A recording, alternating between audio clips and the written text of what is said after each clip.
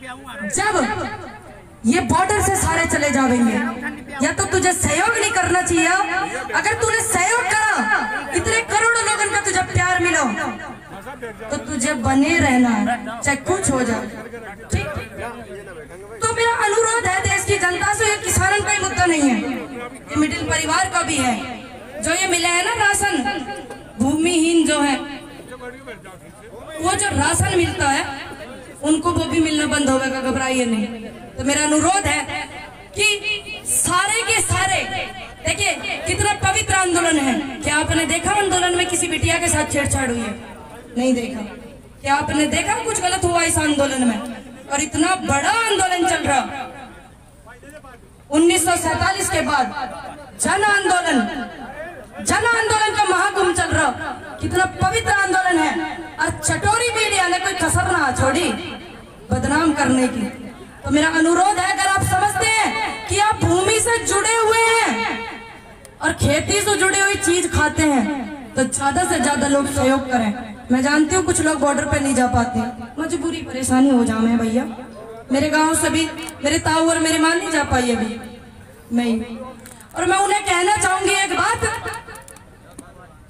जो नारी को रोकते हैं ऐसा कौन सा नेता है देश में जवाब नहीं मिला है, जो बिना नारी के धरती पर आया? जरा मेरे से संपर्क करें। कोई भी है, पक्ष में है या विपक्ष में है, नारी ने कहा अपना धर्म नहीं निभाया? किस आंदोलन में सहयोग नहीं करा? किस लड़ाई में सहयोग नहीं करा?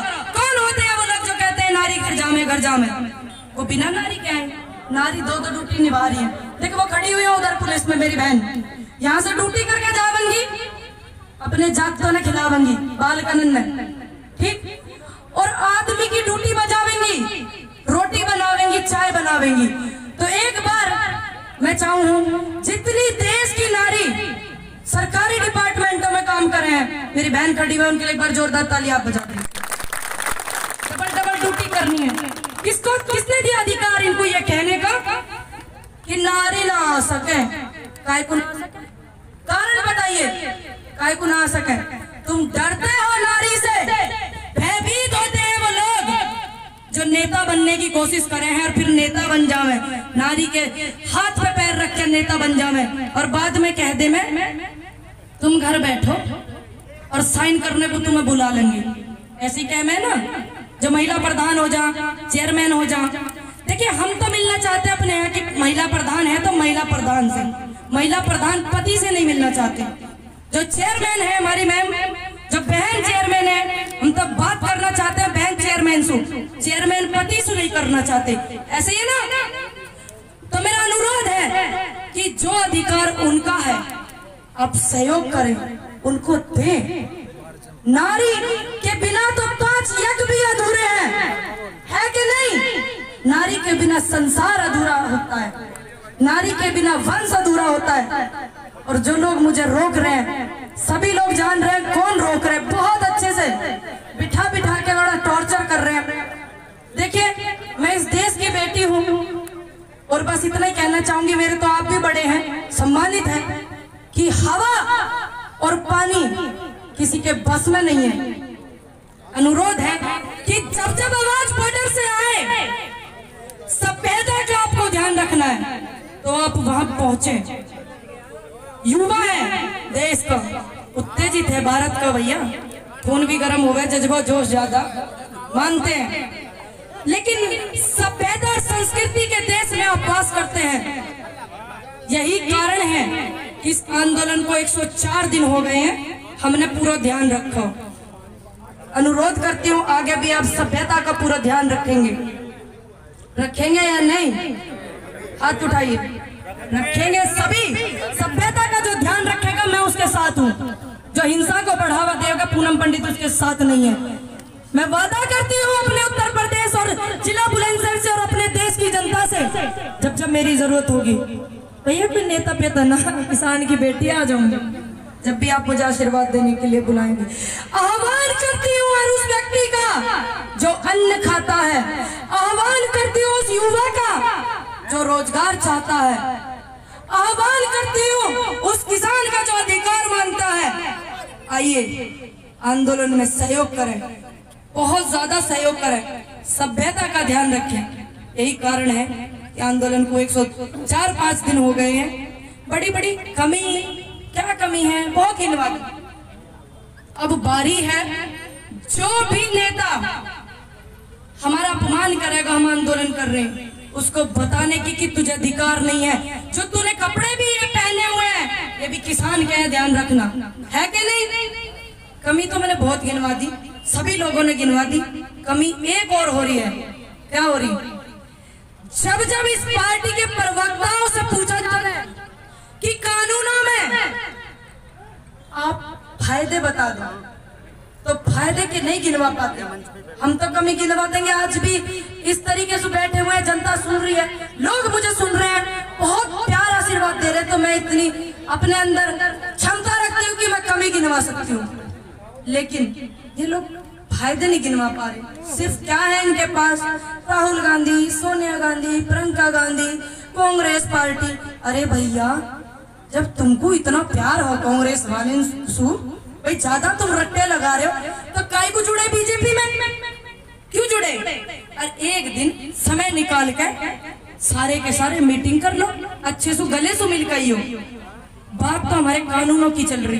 जब सत्ता में कोई सरकार होगी तो सवाल हम किससे करेंगे? जो पार्टी सत्ता में है, जो पदाधिकारी है, क्या राहुल गांधी से करने जाएँगे सवाल? करे, कौन है राहुल गांधी? कहा राहुल गांधी? प्रधानमंत्री है, मुख्यमंत्री है, क्या है राहुल गांधी? हम सवाल करेंगे माननीय मोदी जी से। उन्होंने ये बिल लेके आए। हम सवाल करेंगे मुख्यमंत्री जी से।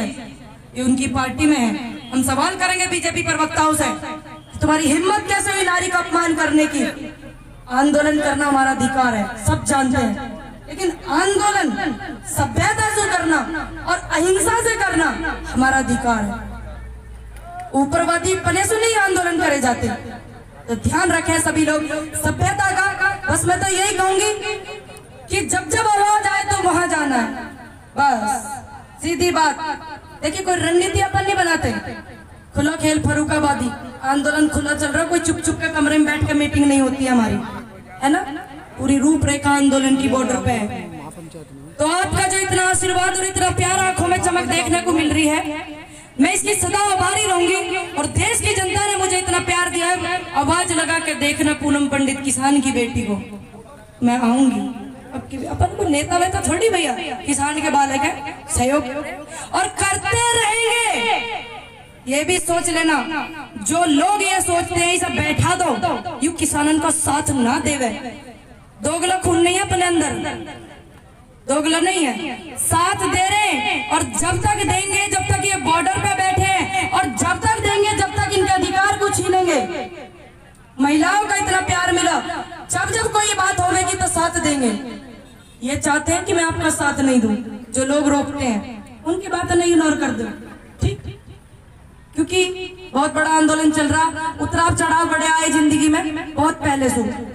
छह साल की उम्र से संघर्षशील हूँ, घबराऊँगी नहीं। बस आप अपने ऐसे साथ और सहयोग बनाए रखना। और एक बात, मैं नहीं देखिए भाई, नारे लगा रहे थे पूनम पंडित जिंदाबाद। मैं बार बार इस बात को बोल रही हूँ हमें चाहिए पूनम पंडित जिंदाबाद। जिंदाबाद की बात की तो भीड़ ही खत्म करनी चाह रहे हैं। ये तो बथेरी ने नहीं जोड़ रखी है। मैं जिस गली निकलूं, नारी शक्ति जिंदाबाद होना चाहिए।